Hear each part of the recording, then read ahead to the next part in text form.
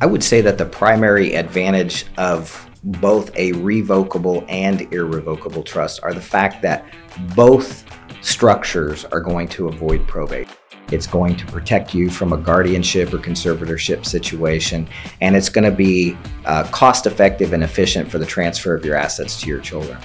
On the other hand, if you're looking for asset protection from nursing home or general creditors, uh, or you need some type of asset protection component within your estate plan, then that estate plan by design ought to incorporate an irrevocable trust.